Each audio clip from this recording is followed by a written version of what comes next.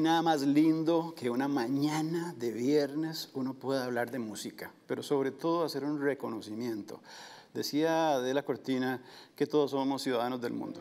Si hoy tengo la oportunidad de conversar sobre música es porque no tengo a un ciudadano del mundo, tengo al director del mundo. Premiado nacionalmente como director, premiado nacionalmente como compositor, ganador de Grammys y ahora nominado también a Grammy. Tengo a don Eddie Mora con dos pupilos, con Daniel y Yonder. Antes de presentar a Daniel y Yonder, quiero obviamente darle el agradecimiento a don Eddie. No somos parientes, los dos somos Mora, pero es un gusto tenerlo en este homenaje que estamos haciendo a un trabajo maravilloso que es La Voz del Ave, que ya vamos a hablar más en detalle, para que la gente conozca no solamente a la Orquesta Sinfónica de Heredia, si no ha tenido la oportunidad, sino que tenga este trabajo maravilloso, este trabajo maravilloso. ¿Cómo está, don Eddie? ¿Cómo me le va? Muchísimas gracias, Marlon. Y para mí es una fiesta estar aquí en el canal UCR, el canal de la Universidad de Costa Rica, poder compartir con toda la comunidad, con todas las personas que están viendo, que están observando, que están escuchando y que podrán verlo después. Este, me siento en casa con todos los amigos del canal UCR, con el apoyo que siempre nos has dado a la Orquesta Heredia y a todas las cosas que tenemos que en el futuro, planes. Así que no, me siento muy honrado de estar aquí en este programa y estar compartiendo con vos y con los compañeros, por supuesto. Yo quería presentar tanto a Daniel como a Yonder, pero quiero que hagamos un homenaje a ellos también. Entonces yo quiero que usted me los presente cualitativamente. Muy bien, a cada uno de ellos. Bueno, me da mucho gusto presentarle a, dos eh, jóvenes artistas, estudiantes de la Escuela de Artes Musicales de la Universidad de Costa Rica, nuestra querida EAM.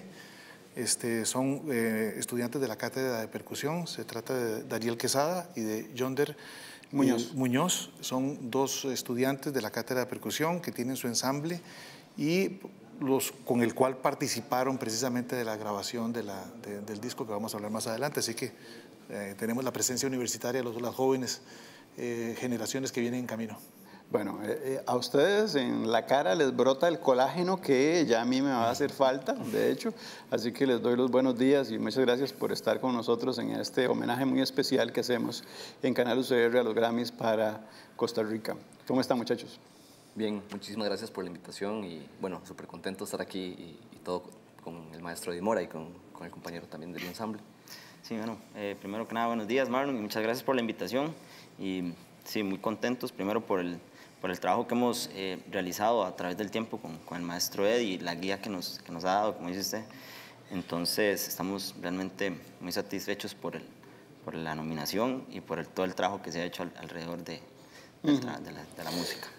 Nosotros también eh, tenemos muchos eh, años de estar trabajando con la Orquesta Sinfónica de Heredia. Hay una labor que yo considero en el tiempo que se ha sostenido de una manera eh, muy positiva, pero que además en pandemia estamos tratando de continuarla.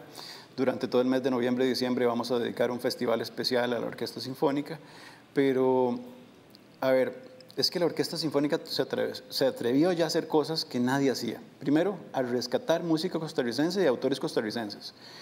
No, no se fue a pensar necesariamente en aquellos grandes autores que han sido referencia de toda la vida, ¿verdad? Inclusive desde el barroco, sino a chequear nuestra convivencia y a partir de ahí llevarla a palestras tan importantes para que se obtuviera un Grammy, don Eddie, que marca la hoja de ruta.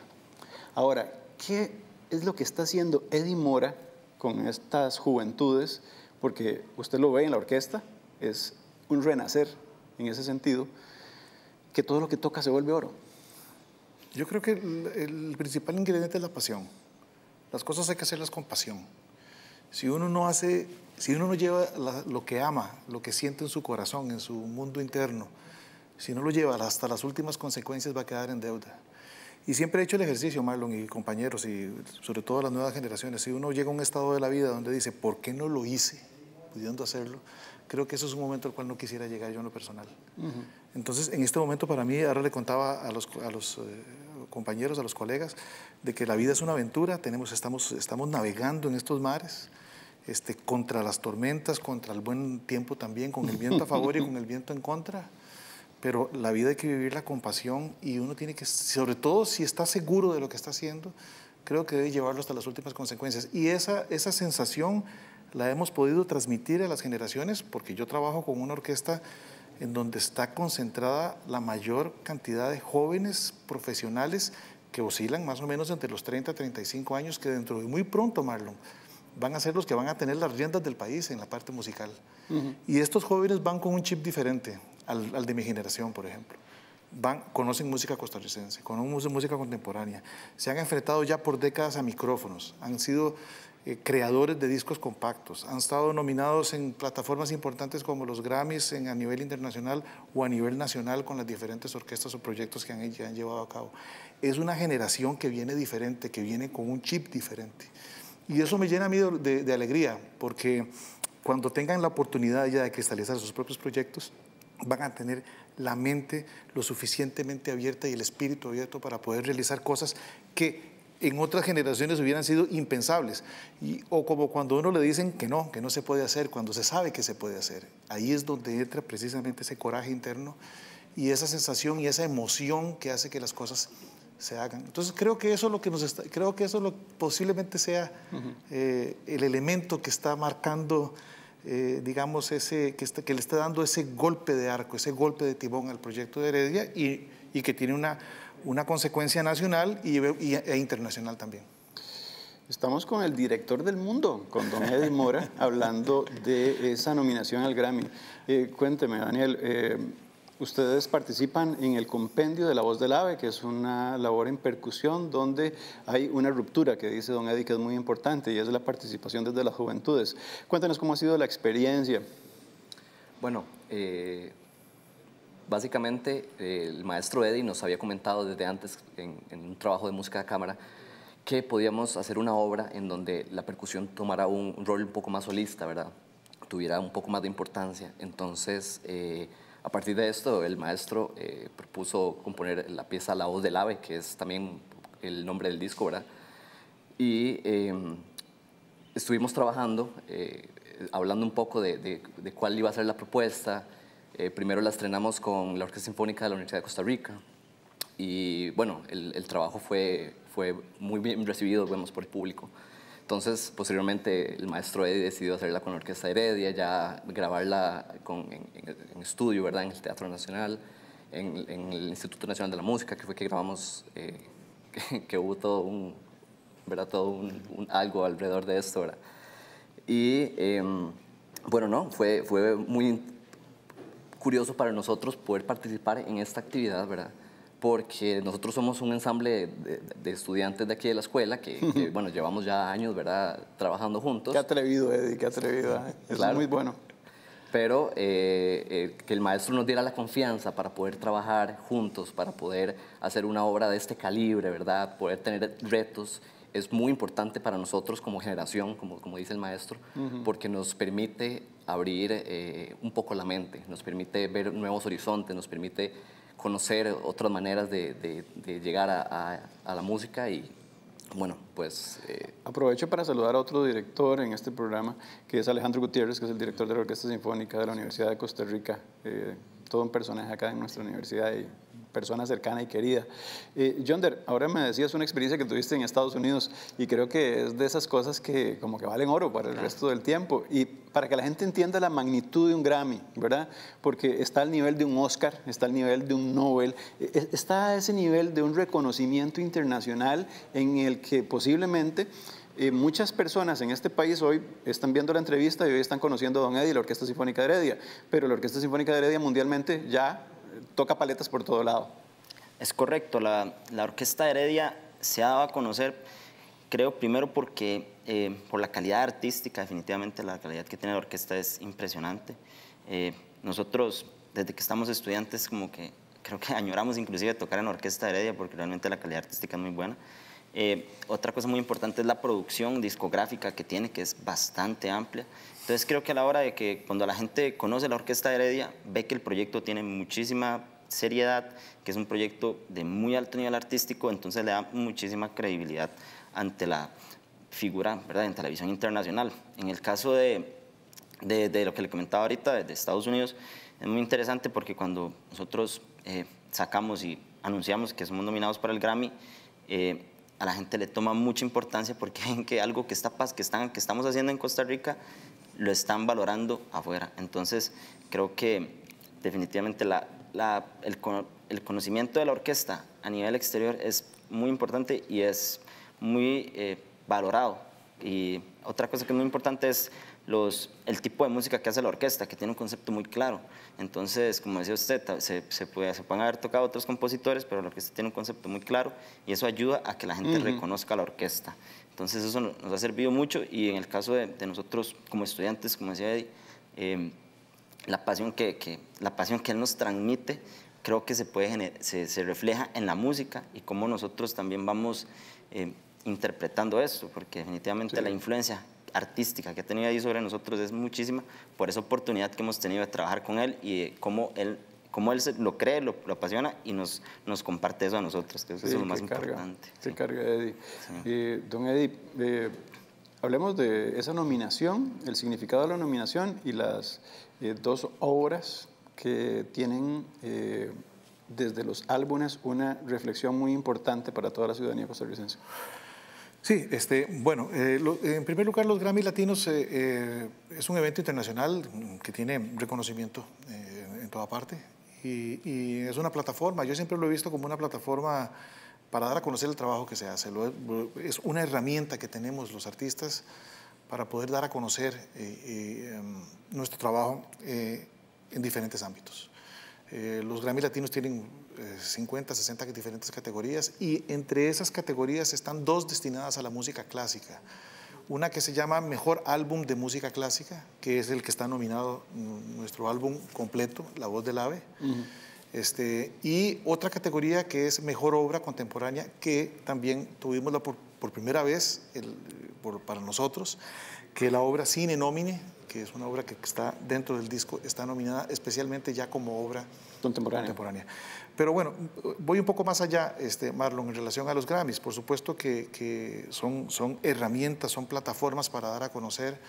Eh, y algo que yo comentaba con los muchachos también es que eh, conforme la orquesta, nuestros músicos, nuestros artistas, nuestra manera de escuchar la música, de crearla, de, reproducirla, es considerada en plataformas eh, internacionales, vamos ganando cada vez un, un puesto más para beneficio de la, de la cultura en general. Esto no se queda en una persona, no es una cosa egocéntrica, no se trata de un, de un personaje, de dos personajes, se trata de muchas personas. De cuando, equipo, cuando a mí me preguntan cómo es posible hacer una cosa así, yo le digo que la única manera de hacer esto es en equipo. No hay posibilidad de que se haga de manera separada.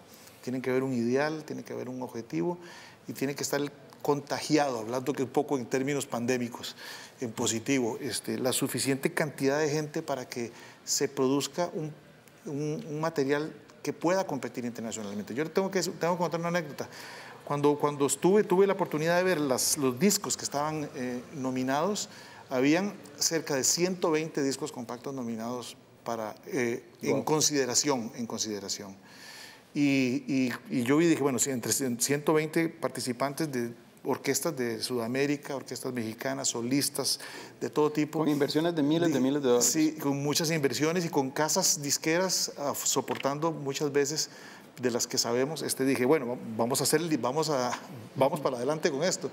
Y bueno, tengo que contarles un poco que la nominación en qué consiste, en que de esas 120 o 130 producciones se escogieron cinco y nosotros quedamos en, las en esas cinco. Entonces ya eso para nosotros desde el punto de vista emocional es muy importante, tanto con la obra como con el disco. Entonces creo que para... Los mejores cinco del mundo. Sí, digamos, digamos, que estamos compitiendo, estamos en esa, si se puede decir, es una, es una, es una especie de competencia también, ¿verdad?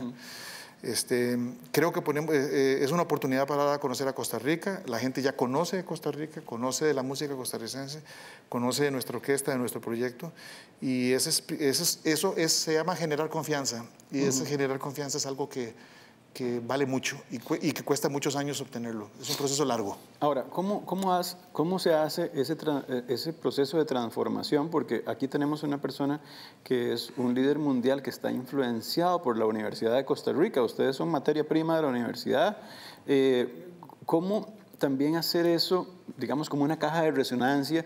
Y lo digo directamente hacia, hacia la escuela, hacia el decanato, hacia un esquema que logre que toda la universidad vea esto como una transparencia mundial conjunta. Y lo digo con toda seriedad porque nosotros que hemos venido acompañando a la Orquesta Sinfónica, nosotros hemos grabado las dos obras, pero además eso significa que el acceso que las personas van a tener a esta, a esta magna obra va a ser de acceso público. Eso tiene un alto valor. ¿Cómo ha sido esa vivencia desde la cotidianidad de también lo administrativo político de la universidad? Daniel. Sí, claro. Eh, bueno, la universidad ciertamente ha dado mucho apoyo siempre con todo este tipo de, acciones culturales que, tanto el maestro Eddie como otros personajes han querido eh, emitir, ¿verdad? Y eso es muy importante. Nosotros también dentro, como estudiantes, ¿verdad? Desde la acción estudiantil, me parece que es nuestro deber eh, dar a conocer todo este tipo de, mm. no solo en la, comunidad estudiantil, todo este tipo de, actividades que, que, suceden, sino que en el país entero, hacerlo un poco más eh, popular, digamos, para que la gente mm. lo pueda eh, recibir, ¿verdad? Que no quede como ajeno, que sea solo de la universidad, sino que todos sientan que es de todos, ¿verdad? Y hay muchas personas involucradas en esto, ¿verdad? Entonces, realmente es, un, trabajo, en equipo. ¿verdad? Es un trabajo en equipo, no, no es que, que queda solo en, en, una o dos personas, sino que... Hay algo que siempre ha estado eh, en tema de discusión y ahora les comentaba antes de arrancar que en una conversación con don Joan Bajés, que fue uno de los eh, directores que trajo como invitado de Alemania, pero de origen español, don Eddie Mora al inicio eh, de Orquesta Sinfónica en Teatro Nacional, recuerdo que don Joan nos hablaba mucho de el tratar de que ese acceso a esta música fuese universal. Eh, ¿en, qué tanto esto de la cercanía a lo popular permite que sea así? Eh, Jonder. Sí, definitivamente eh, creo que la música necesita llegar a más, creo que necesitamos que llegue a más sectores de la población y creo que muchas veces es por falta de canales de difusión, y medios de que la gente pueda llegar al artista y conocer al artista. Creo que es algo muy importante. Cuando la persona tiene una cercanía con el artista, va y ve el concierto y disfruta por el hecho de que nosotros estamos compartiendo con ellos. Entonces, el hecho de, poder tener cercanía con las personas hace que los conciertos este, se vuelvan, la gente los pueda sentir y aunque sea una música que no están acostumbrados a escuchar, puedan tener, puedan reaccionar a ella y puedan... Este, no, digamos disfrutarla, sino realmente reaccionar a ella y tener sensaciones que les produce la música. Entonces me parece muy importante que haya una cercanía de los artistas con, el, con la comunidad y en este caso me parece muy importante cuando, por ejemplo, la, Orquesta Heredia o nosotros tocamos en comunidades, ¿verdad? la acción social que hace la, universidad. Es muy bonito ver cómo la gente se puede acercar, cómo la gente puede conocernos y, a veces eh, creo que es esa, ese desconocimiento del proceso del artista, de esa, de esa lejanía con el artista, como, no, eh, tocan música clásica y yo estoy en, en, otra, en otro nivel, hay que, deberemos eliminar eso y tener una cercanía más, más, más pronto, más, más cercana al, público. Eh, me parece, bueno, a mí me parece fenomenal todo el apoyo que ha tenido el maestro Eddie en diferentes medios de comunicación, porque eso también nos da mucha credibilidad al sector artístico y, y hace eso, lo vuelve más más, más popular, más a la gente, como decía Daniel. sí, ella es la voz autorizada en los medios de comunicación por toda esta trayectoria que tiene, es cliente frecuente de los Grammys, pero don Eddie, eh, hay una de las razones que creo que tienen que ver con que, a ver, hoy muchos pueden creer que estamos hablando de este tema y que ha sido fácil, y usted ha tenido que enfrentar, no voy a decir problemas, pero grandes desafíos y va íntimamente ligado a cómo los protocolos son posibles para llevar la orquesta sinfónica a la gente. Que vea que dos jóvenes nos dicen, el hacerla popular tiene que ver con la proximia de eso, desde lo que el canal en este caso hace, que es servicio público, pero que usted sabe que desde la Orquesta Sinfónica ha sido un reto. Cuéntenos un poquito de esos desafíos que ha tenido que enfrentar y que, bueno, creo que en política pública todavía nos, nos quedan grandes retos tremendos. En Costa Rica está a un paso eh, estamos más cerca de lo que creemos, de lo que podría estar el mundo, el resto de, países que están muy lejos de poder dar a conocer lo que tienen. Costa Rica ha invertido muchísimos, eh, muchísimas décadas en, décadas en música, en cultura, en el campo de la música especialmente. Y yo creo que estamos viendo... El es un legado de Calderón Guardia, la Orquesta Sinfónica, por sí, ejemplo. Pues la Sinfónica Nacional. Nacional sí. Y las transformaciones que sufrió la Universidad de Costa Rica y la Escuela de Artes Musicales en los 70, etcétera, etcétera. La profesionalización de la música en Costa Rica es muy fuerte. Y, no solo en la Universidad de Costa Rica, en el Centro Nacional de la Música, en nuestras universidades Así también, es. en la Universidad Nacional, en la UNED, etcétera. O sea, eso es una cosa nacional, es un, es un tema nacional. Este, definitivamente nosotros en este momento tenemos la herramienta, estamos muy cerca de dar el paso, un paso cualitativo a nivel internacional y tenemos que creer eso porque eso es la, es la realidad. Lo que pasa es que ese paso pequeño no es tan fácil darlo, porque tiene que, tener, tiene que haber un cambio interno, tenemos que estar convencidos de lo que estamos haciendo y tenemos que tener la visión para poder, para poder llevar este objetivo a ese punto. Mientras eso no suceda, nos estaremos tropezando siempre con las mismas piedrecitas en el camino, ¿verdad? Que son pequeñas cosas que definen cosas, que pueden definir el, destino de cosas importantes. La pandemia para mí ha sido uno de los principales retos para la orquesta. Tuvimos que cambiar toda la programación, tuvimos que cambiar la manera de cómo comunicarnos con la gente. Estamos ante algo extremadamente, eh, digamos, importante para todos, que es la incorporación de la tecnología en nuestras vidas. Las redes sociales, la, el uso de la tecnología, grabar los programas, ten, eh, eh, fortalecer el acervo cultural, crear cultura, crear cultura, o sea, no solo reproducir cultura como un museo, no, crear cultura, ser, ser partícipes activos de la creación de materiales culturales. Cuando uno se pone esas tareas al frente y tiene los medios de comunicación a su favor y tiene, tiene eh, todo un equipo de trabajo que puede cristalizar y fortalecer y amplificar eso, eh, si no se hace, es pecado. Uh -huh. Yo lo veo así.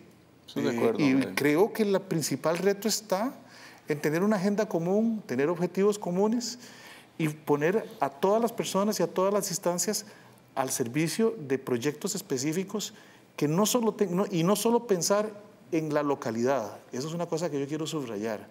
La localidad es muy importante, pero nosotros tenemos que pensar también en cómo poder llevar el nombre de Costa Rica culturalmente fuera de, lo, fuera de las fronteras costarricenses. Eso es muy, uno se entusiasma hablando de eso, uno se contagia y comienza a inventar cosas. Y ahí es donde hay que ir limando, hay que ir lijando los pequeños detalles burocráticos que no permiten eso. Y hay que hacerle ver a los burócratas que tienen el poder de, de, de cancelar o de aprobar algo, de que la ganancia es enorme uh -huh. cuando se llevan objetivos y se consolidan, se consolidan objetivos, sobre todo en temas de cultura. Esto es un claro ejemplo. Eh, un álbum como este y en solitario, eh, la obra en visión contemporánea también, pero lo que quisiera rescatar aquí, don Eddie, es que después de la pandemia vino otra pandemia, que es la pandemia económica, y casi siempre los recortes van hacia sectores que algunos eh, personas que se dedican a la vida pública desde la administración creen que es por ahí donde van los recortes. Y bueno, ustedes saben como estudiantes que la educación ha sido una de las que por lo menos ha presentado solicitudes en ese, en ese tracto. La música y la cultura eh, no la están pasando bien. De más o menos 30 mil artistas que tenemos en este país, 15 mil están sin trabajo, ¿verdad? Y hay un llamado muy importante de la ciudadanía eh, a tono de crítica y de preocupación desde las autoridades que dirigen la cultura. Eh, estamos pasando un momento muy complejo, don Eddie. Yo quisiera que, que también entendamos que este año eh, tenemos una razón, pero el año que viene no sabemos cómo van a estar estas circunstancias. Usted lo ha logrado hacer esto en época de pandemia, pero yo creo que sí necesitamos mucho involucrar a, a los sectores, como dice usted, de toma de decisiones para que podamos mantener ese nivel y estar a ese punto cualitativo que usted llama que, que estamos tan cerca de lograr.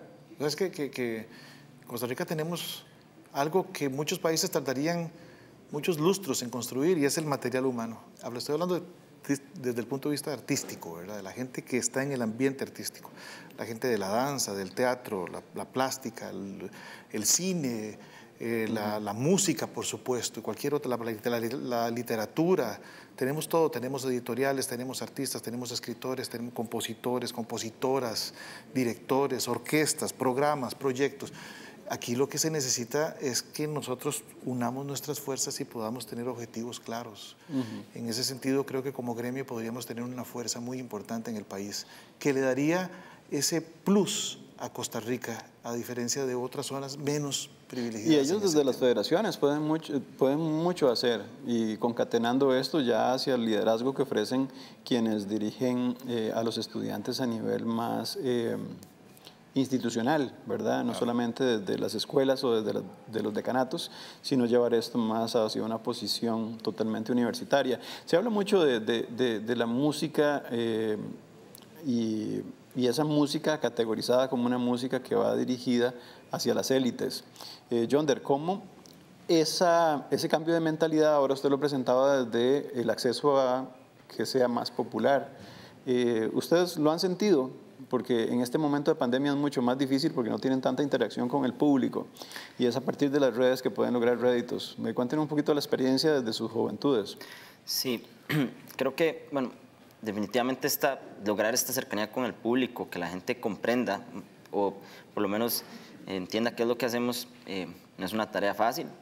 Es, es muy interesante cuando nosotros uno hace conciertos y bueno, en el caso que nosotros somos percusionistas, que es como algo todavía más, más exótico, si se puede decir, entonces es interesante cómo uno toca y entonces luego llega una señora y le dice, yo no, yo no sabía que un, un bombo podía sonar así, ¿verdad? O no sabía que unos platillos podían sonar así. Entonces es muy interesante cómo este, la, la gente simplemente no tiene una, una, idea de lo que nosotros podemos hacer y cuando lo ven se sienten, esa cercanía y, y la capacidad de poder ir a hablarnos es algo que, que hace que, estemos cerca. Ahora, la virtualidad definitivamente es un, es un factor que, que ha venido a, a, afectar mucho porque hemos tenido que repensar las maneras de llegarle a las personas. Eh, con toda la cuestión de los videos y tener que hacer audio también no es una tarea fácil porque eh, hacer una producción audiovisual ¿verdad? conlleva muchísimo trabajo y tener el apoyo de, del sector de, por ejemplo, audio, que hacer una buena producción, este, algo audio, auditivo bueno, una producción de video buena. Entonces, esos desafíos los ha planteado. Eh, nosotros, bueno, desde mi punto de vista como percusionistas, eh, nosotros hemos, bueno, uno como que hemos hecho actividades o conciertos, o sí, conciertos y piezas, hemos, las hemos divulgado que sean más accesibles para las personas y que puedan tener como ese entendimiento. Entonces me, me viene a la cabeza, una, por ejemplo, un, video que hace poco, de hecho, hizo el ensamble de percusión de la Universidad de Costa Rica, que se llama Percusión Extravaganza, que es con hechos con cosas en la casa, con ollas y con todo. Entonces también es como mostrar, ¿verdad? Como que esa cotidianidad de la, de la, de la pandemia y del de estar en la casa, lo podemos manifestar en una obra, entonces también así le podemos llegar a la gente y decir, wow, un percusionista ahora también no solo puede tocar el bombo y platillo, sino que tocan unas ollas y suena algo, algo musical. Entonces creo, que también, entonces creo que también eh, hay que, nosotros tenemos que ir renovándonos, pero es, son oportunidades para tener más herramientas de cómo llegarle al público. Daniel, es que el ensamble eh, es todo un reto y en ocasiones uno escucha esa música y, la, y, le tiene una lectura del lenguaje muy diferente y muy a lo interno de cada cuerpo. Uno puede sentir un escalofrío que le sube por las piernas y de inmediato siente un bajonazo en la presión que hasta que le pega en el estómago y, y los ojos le brillan y la gente se pone contenta. E inclusive empieza a hacer sonidos que nunca ha hecho en su vida y que es la expresión máxima de aquello que le entró por aquí, pero que al final también le sale con sabor en la boca. Entonces, eh, ¿cómo esos ensambles de algún modo convierten una caracterización muy, eh, muy, muy del comportamiento humano y de esa capacidad de poder en algún momento negociar con los otros, ¿verdad? Pero que desgraciadamente en esta época de pandemia, y ahora lo planteaba eh, eh, Yonder, como eh, mediante las redes no necesariamente podemos ver ese feedback de la gente y es básicamente con con el comentario, con la cercanía, con la capacidad de respuesta que tengamos que podemos obtener una, un mayor entendimiento. ¿Cómo lo viven ustedes que son más jóvenes y que nosotros, de repente, por ejemplo, el Instagram es, menos usual en nosotros, nosotros somos más facebookeros? Bueno, eh, como, como han mencionado anteriormente, muchas veces se subestima eh, la calidad del arte, se subestima lo que realmente el arte puede provocar en las personas, que es sensibilidad, ¿verdad? Como usted dijo, eh, pueden llegar a llorar, pueden llegar a sonreír, pueden incluso, si escuchan percusión, muchas veces pasa que quieren moverse, ¿verdad? Quieren, eso es lo que genera, ¿verdad? En, en, de bailar. Exacto, en, nosotros como seres humanos, ¿verdad? Entonces, eh, el hecho de que la virtualidad nos haya separado un poco de esta cercanía, que, ciertamente no es lo mismo escuchar un, un concierto live en Facebook, que ir a un teatro y estar ahí presencial, sentir las vibraciones que la misma música produce, eh, hace que, que, tengamos que adaptarnos a una nueva manera de, de poder llegar a, las personas, ¿verdad? Pero ciertamente también estamos en una época en la que la virtualidad también es muy importante. Las redes sociales son muy importantes a nivel social. Eh, los jóvenes hoy en día casi que prácticamente todos tienen redes sociales. Eh, entonces eso lo vuelve también muy accesible, ¿verdad? pasa que, que ahora las personas les gusta, más bien como están metidos en la casa y no pueden hacer nada, les gusta hacer cosas que tal vez antes sentían como, como innecesarias o u obvias, ¿verdad? Cambio ahora, eh, más bien, eh, bueno, al menos en mi experiencia lo he visto, andan buscando conciertos, andan buscando eh, actividades para poder acercarse a eso, para poder también sacarlos de esa cotidianidad de estar en la, metidos en la casa haciendo, de, trabajando o estudiando o lo que hagan, pero sí, sí buscan más bien una manera de acercarse un poco más al arte. Sí, creo que es el uso de las tecnologías en este tiempo porque tenemos que sacarle el mayor provecho. don Eddie, eh, hablábamos de esas élites, pero hay otro, otro gran misterio ahí que tiene que ver con que también se asocia a ese tipo de música clásica, e inclusive de cámara, como una música donde esa música es aburrida. Sí, no, esos, esos son cosas que tienen que ir cambiando con el tiempo y es una tarea nuestra de los artistas, de los medios de comunicación, de las personas que comunican, que hablan, que explican. Es una cosa educacional, formal, total, integral. Este, la música es eh, una sola en muchos sentidos y eh, hay músicas que pasan de moda, es cierto. La música que escuchaban mis papás posiblemente ya pasó de moda, para ellos es muy importante, refleja toda una época.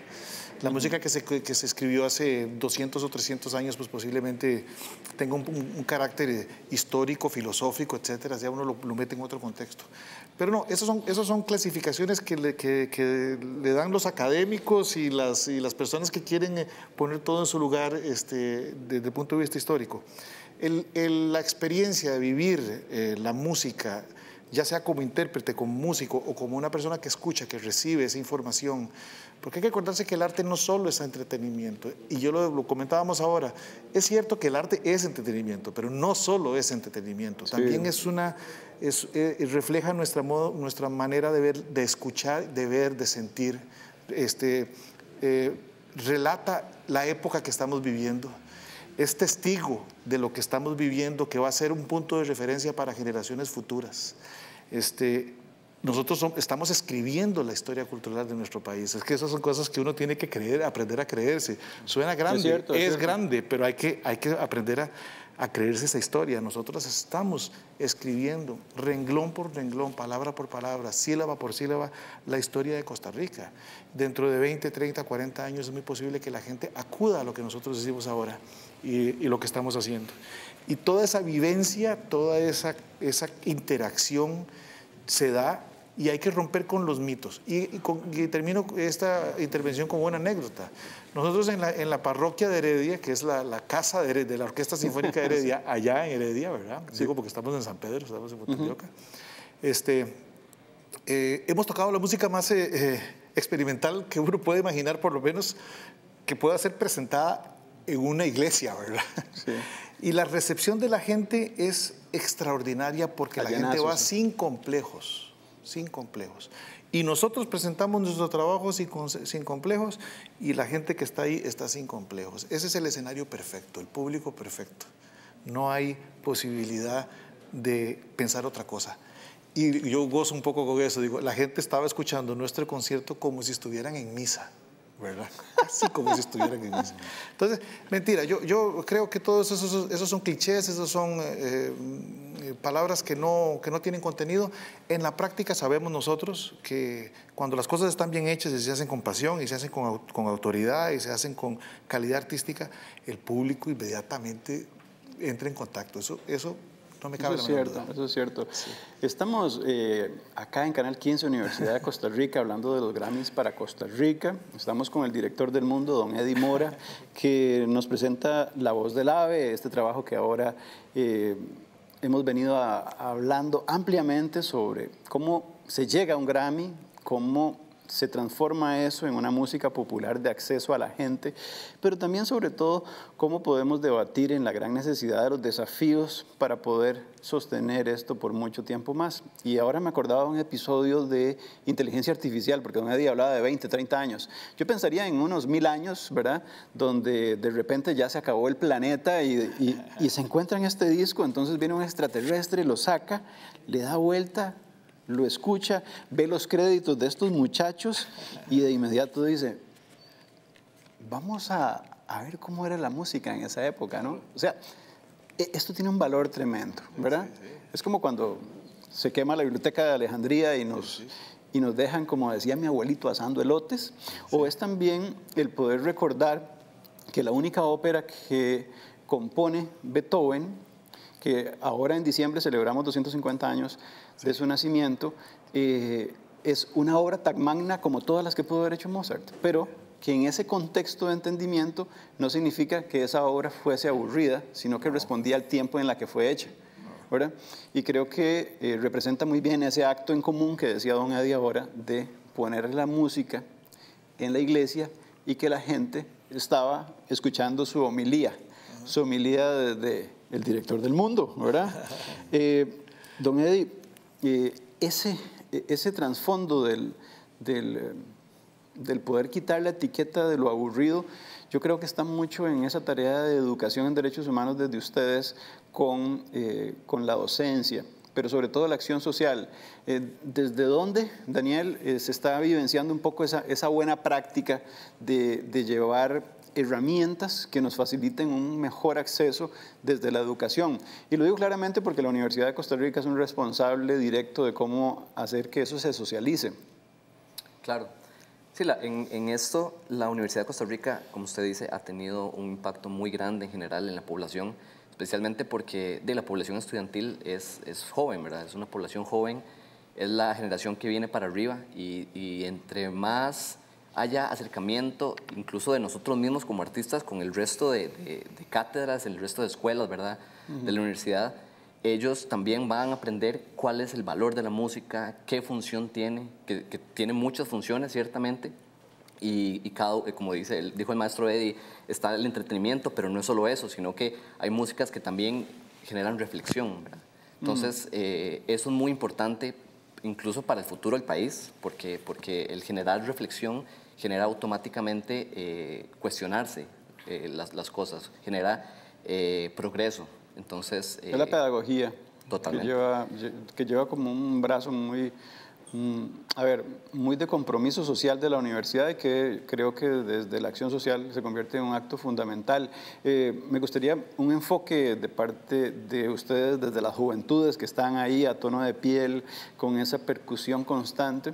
Y le pediría a Yonder que trate de hacernos una descripción de su experiencia en, en esta nominación, que es la voz de la AB1. Claro. Eh, bueno, primero que nada, el proceso desde la, desde la, la creación de la obra, de estar trabajando en- con, con el maestro Eddie, es muy, muy especial para nosotros porque hemos vivido eso desde la creación hasta ya la, la pieza hecha, cuando la traemos, la revisamos.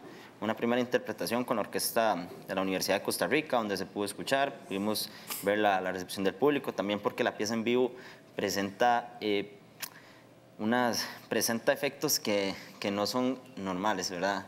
El, el acomodo de los instrumentos también no es usual, entonces tener ese, haber tenido esa primera impresión de la Explíquenos, que- gente... explíquenos para que la gente lo entienda, Ok. qué es lo atrevido que se hace. Sí. Y, y- y a ver, Sí, entre en eso, todos podemos el alternar en me esto. puede, me puede colaborar tal vez luego dando como la impresión de cuál era la idea, pero sí, la- la- la- está conformada de la siguiente manera. En el centro está, en el centro del escenario hay una, están los vientos con, con el piano y el arpa.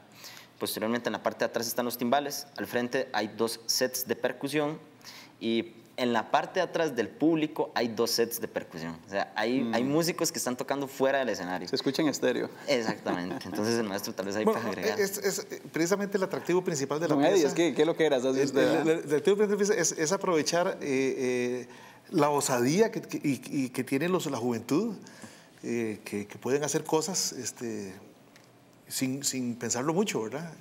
Este, la espacialidad de la música es algo que nosotros estamos, eh, eh, que yo experimenté en esta pieza por primera vez en mi, en, de mi catálogo. La espacialidad de la música consiste en colocar los instrumentos no solo a, no, a la manera italiana, como dicen, que es el público y la orquesta de frente, uh -huh. eh, que, es, que es un estéreo, digamos, uh -huh. sino que, que lo, lo, quisimos hacerlo cuadrafónico.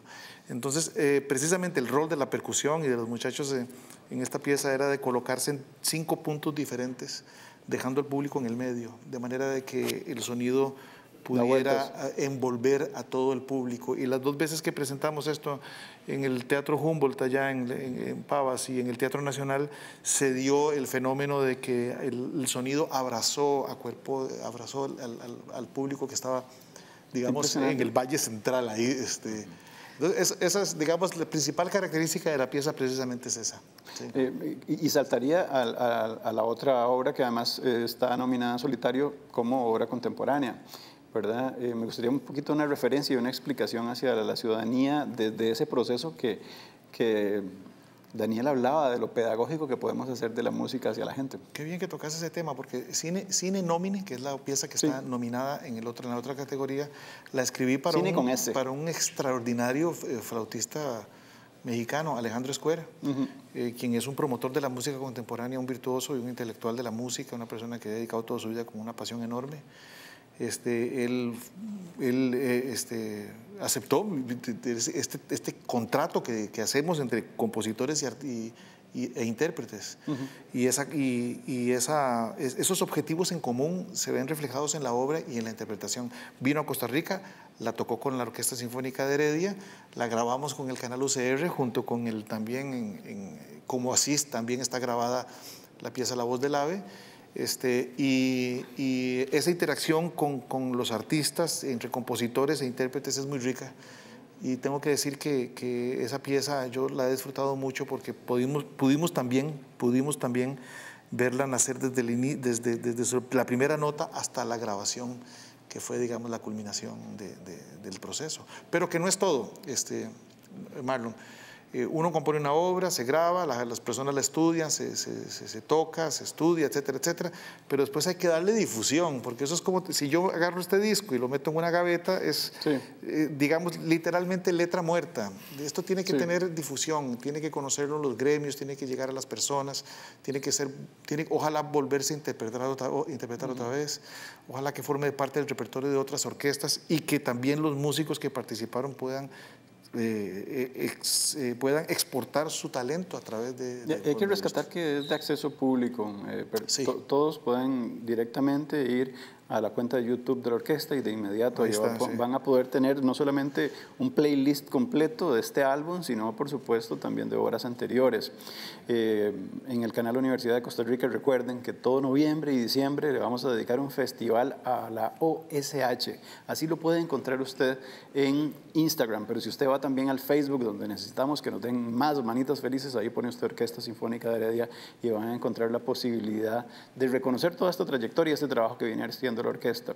Eh, ¿Qué se viene para ustedes, Daniel? Eh, ustedes son los jóvenes, son los rostros que inclusive don Eddie eh, les dice que son el futuro de lo que se pretende hacer desde ese proceso cultural en lo clásico, pero también en lo contemporáneo, y ahora agregaría lo popular, que, que John hizo un énfasis en eso, y que, y que de repente, eh, aunque están muy jóvenes, tienen que ir proyectando qué viene ya para el próximo año. Claro, para nosotros ha sido de gran aprendizaje el, el tener de maestros, eh, por ejemplo, a Eddie Mora, a, a, un Ricardo Alvarado, que es el maestro de nosotros como percusionista, ¿verdad? Porque nos ha enseñado a, a, a que debe, hay que saber las cosas, ¿verdad? No hay que quedarse quedito, como dicen, ¿verdad? Hay que estar siempre eh, pendiente, hay que estar siempre... Eh, anuente a nuevos retos, hay que estar buscando las cosas, porque, porque ciertamente no, no va a llegar así como así, sino que uno tiene que poner de su parte. Así que eh, nosotros como artistas jóvenes, eh, apenas en, en, en, entrando ¿verdad? Al, al, ámbito, por decir así, debemos eh, seguir haciendo proyectos, debemos seguir buscando contactos, ¿verdad? Para poder realizar eh, gestiones. Nosotros tenemos un ensamble de percusión, que es el ensamble de percusión avanzado aquí en la Universidad de Costa Rica y ya tenemos muchos proyectos en mente. Ahorita, bueno, con la virtualidad, como mencionó Yonder, hicimos este, el Percusión Extravaganza. Ahorita en diciembre vamos a hacer un concierto todo virtual sobre percusión y, eh, bueno, es, es, como, como artistas independientes también tenemos... ¿Qué eso? seguir, seguir saliendo adelante y fuera del país también, ¿verdad? Que hay muchísimas oportunidades que nos dan muchas experiencias y nos dan mucho conocimiento también. Sí, sí, yo creo que, bueno, es parte de ese esfuerzo que ustedes hacen y, y también pueden pasar de, de, buenas a primeras a la internalización de, de su trabajo. Eh, ¿Hasta dónde esos desafíos hoy por hoy, eh, desde la universidad pública, eh, podemos lograr, Yonder, que que tengan ese énfasis, ¿verdad?, en procurar sostenerlos desde una economía potente. Sí, creo que, bueno, los, el, el ensamble de percusión, que es lo que nosotros trabajamos, eh, ha funcionado como un, no solo un difusor de la música nacional, porque realmente el ensamble se ha preocupado por tocar música nacional, y no solo música, este, música contemporánea, sino que inclusive la, la cátedra tiene un, eh, un, ensamble de marimba criolla, o sea, tenemos unas marimbas criollas, entonces nos hemos inclusive preocupado por rescatar la música tradicional eh, a, a, un tanto nivel folclórico como contemporáneo. Bueno, este, también, por ejemplo, la cátedra tiene una eh, función muy activa trabajando con compositores, con diferentes compositores, definitivamente con el maestro Mora, digamos, hemos tocado varias obras de él e inclusive, bueno, la cátedra, eh, nosotros habíamos realizado una gira por Minnesota, eh, donde el repertorio acabamos llevado era 100% latinoamericano, entonces creo que también es como parte, es una responsabilidad para nosotros tener ese patrimonio, rescatarlo y darlo a conocer.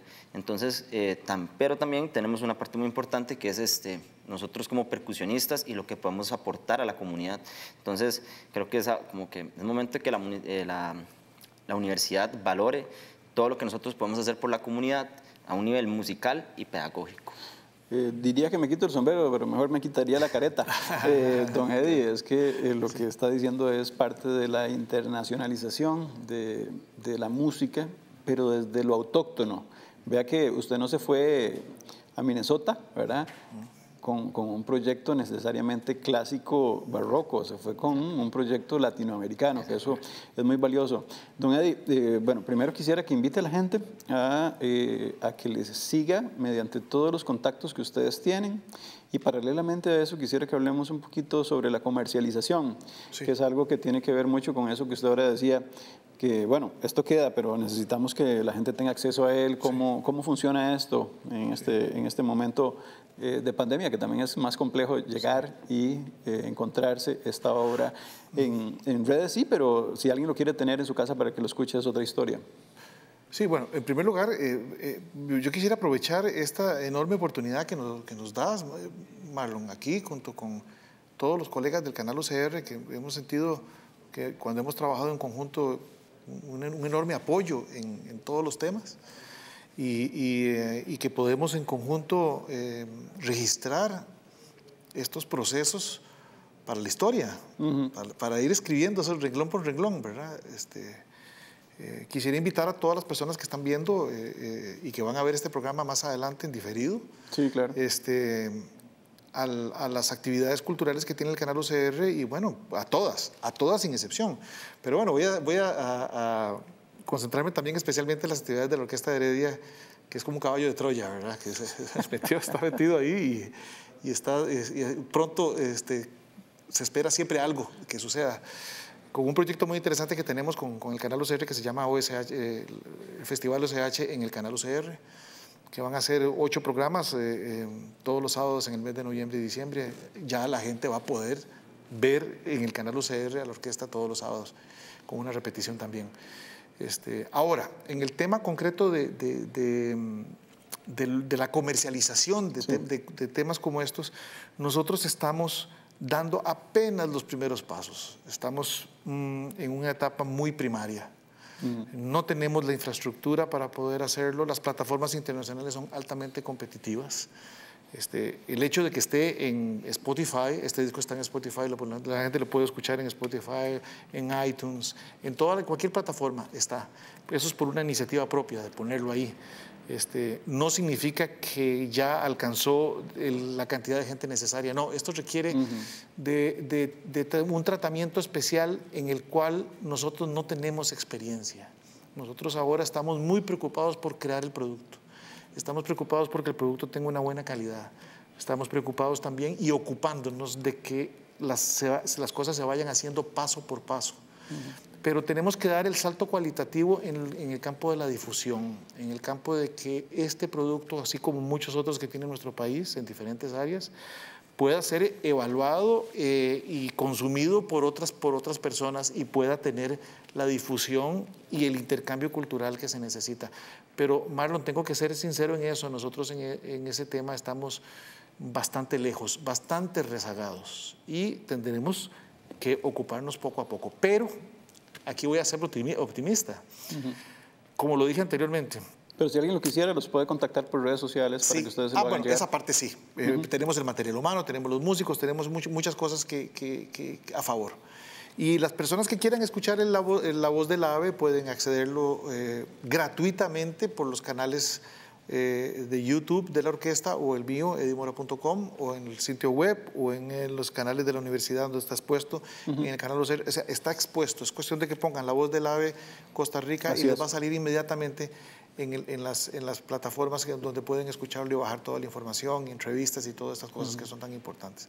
Pero ese tema de la comercialización sí es un tema que, que algún día tendríamos, tendremos que sentarnos seriamente a hablar de ese tema porque, porque esa, esa mm, eh, nosotros tenemos una mentalidad un poco eh, eh, limitada en este tema. Cuando tenemos 100 colones, queremos gastarlos todos en la producción del disco. Eso tiene un sentido normal pero definitivamente hay que hacer una enorme inversión humana y económica en difusión. Así es. Porque si no, es como hacer el trabajo a medias. y les cuento que ustedes lo hacen muy bien. Sí. Eh, esa parte es una de las que yo puedo reconocer de que son los, mejores manejando esto y, reconocer en Ricardo Chávez, Ricardo Chávez, que viene haciendo un esfuerzo fundamental. Eh, también eh, merezca un programa como estos para enviarle un saludo muy importante a Carlos Pipo Chávez. por supuesto. Carlos Pipo es Chávez, ¿verdad? Chávez. Chávez, sí. Sí, ¿verdad? Sí, sí Chávez, Pipo. Eh, es que como siempre le decimos Pipo nada más, ¿verdad? Recuerdo la última entrevista que hice, el hashtag era Todos somos Pipo. Todos somos Pipo, sí, sí, exactamente. porque porque don, don Carlos es un, un, eje fundamental en esto y ha sido, creo, eh, un compañero muy cercano de don Eddie también desde hace Ha puesto la carne en el asador, para hablar de manera metafórica. Él ha puesto todo su, su empeño en que esto suceda. Sí, sí, acá en el canal le tenemos mucho cariño. Eh, yo, quisiera que hagamos un ejercicio ahora don Eddie les presentado a ustedes cualitativamente. Al final él, es su maestro. A mí me gustaría que ustedes le dirijan unas palabras porque si este trabajo queda es para hacer un homenaje a la Orquesta Sinfónica, a los Grammys, pero también a Don Eddie. Entonces les pediría a cada uno de ustedes que me regalen unas palabras para Don Eddie, por favor. John okay. Este, bueno, primero que nada, yo estoy, estamos muy agradecidos por la confianza que nos ha tenido en, todo el, proceso y por tomarnos en cuenta en, en, sus proyectos. Eh, además de eso, la guía que nos ha dado, la guía artística y personal, creo que es una inspiración muy, muy grande para nosotros. Eh, la pasión con la que hace los proyectos la contagia y eso hace que uno también se, se enamore de la música, se enamore de la forma que hay que, que, tocar, la forma en que nos, nos ha guiado a cómo hay que, cómo, cómo hay que tocar es increíble y también su, su forma como, como ser humano. Entonces, realmente eh, estoy muy agradecido y aprendido muchísimo, entonces eh, le doy las gracias porque nos, nos, nos, guía y en, esto que nosotros estamos empezando, en este gremio, y nos sirve como fuente de inspiración, entonces realmente es bueno, muy, agradecido. Eh, Daniel, te toca el último minutito. No, no, con el maestro Eddie, bueno, llevamos ya varios años trabajando y ciertamente ha sido un guía de, de, mucho nivel, ciertamente ha presentado como un precedente, ¿verdad? Es, todos queremos llegar a, tener como la movilidad y también la pedagogía que tiene el maestro que ha tenido con nosotros, ¿verdad? Para pasarlo también posteriormente a, futuras generaciones. Así que realmente, eh, más todo lo que dijo Yonder, ¿verdad? Que, que estamos totalmente de acuerdo. Eh, él ha sido un guía, un guía realmente a nivel musical, a nivel personal, y eh, creo que es, es muy, muy valioso eh, como artista en Costa Rica en general, porque a muchas generaciones han pasado por él y, y muchos más espero que, que pasen también y aprendan todo lo valioso que es eh, la pasión con la que hay que hacer las cosas y, y bueno, Pues a nuestro director del mundo, muchas ¿Para gracias. Grammy? Con esto es suficiente para mí. No, don Eddie, muchas gracias, de verdad. Gracias. Eh, eh, preparamos la voz del ave para cerrar con esto Ah, y genial. que la gente tenga la oportunidad de apreciar eh, una nominación directa. Eh, siempre que he entrevistado a la Orquesta Sinfónica de Don Eddie, han ganado el Grammy. Espero que en esta ocasión sea así. Así que eh, es un gusto tener en el canal de la Universidad de Costa Rica a el director del mundo, don Eddie Mora, con gente joven que irradia un positivismo para un futuro próximo muy lindo desde la música. Pero les recuerdo, esta cámara, detrás de esta cámara, está don Jorge Calderón, le decimos Pichi aquí de cariño, pero aquí hay muchos rostros como Pichi que hacen posible que la Orquesta Sinfónica de Heredia se vea. Así que ellos también hacen música desde el audiovisual y es un compromiso que tenemos en este canal. Me despido agradeciéndole a don Eddie, a Daniel y a Yonder, pero sobre todo agradeciéndole a mis compañeros que hacen posible esa televisión con sentido desde hace muchos años. Y por supuesto, les dejo la voz del ave. Que tengan un lindo día y aprovechenlo.